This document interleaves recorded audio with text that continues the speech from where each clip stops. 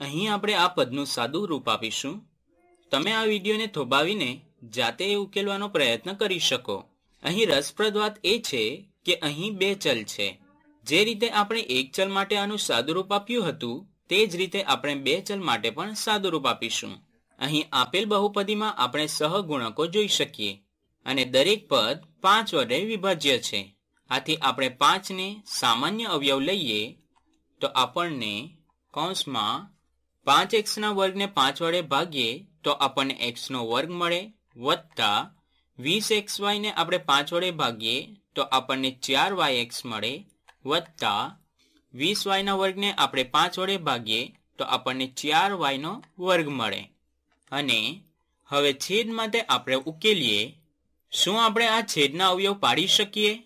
એવી કઈ બે સંખ્યા છે કે જેનો આપણે ગુણાકાર કરીએ તો માઇનસ છ વાયનો વર્ગ મળે તેમનો સરવાળો કરો, તો તમને માઇનસ વાય મળે.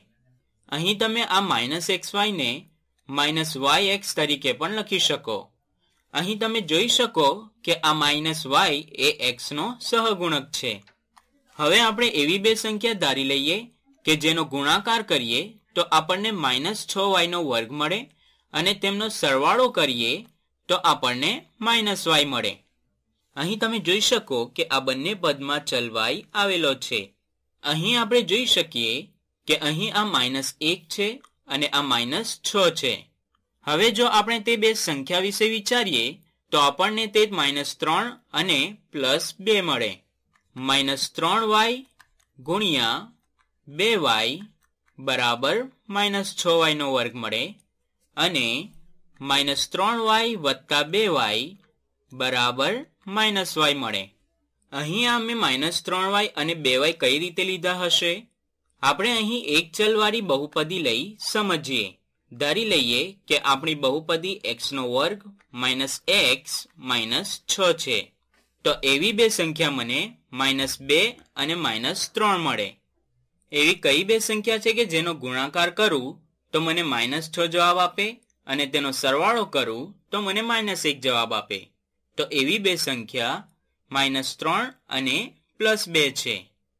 તો આના બરાબર આપણને એક્સ માઇનસ ત્રણ ગુણ્યા એક્સ વત્તા બે મળે. હવે આ બહુપદી અને આ બહુપદીમાં તમને શું તફાવત જોવા મળે છે?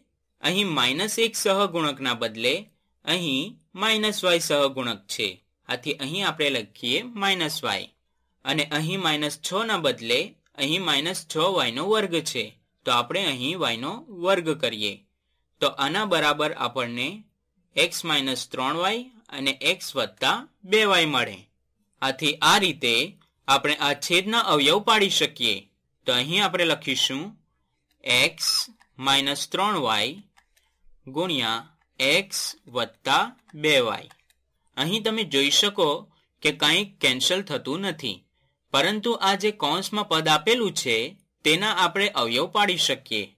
એવી કઈ બે સંખ્યા છે કે જેનો ગુણાકાર કરીએ તો આપણને ચાર વાયનો વર્ગ મળે અને તેનો સરવાળો કરીએ તો આપણને ચાર વાય મળે.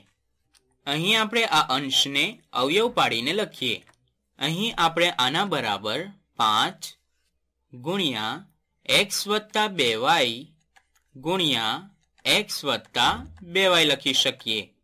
અહીં આપણે ચકાસી લઈએ કે બે વાય ગુણ્યા બે વાય આપણને ચાર વાયનો વર્ગ મળે અને બે વાય વત્તા બે વાય આપણને ચાર વાય મળે.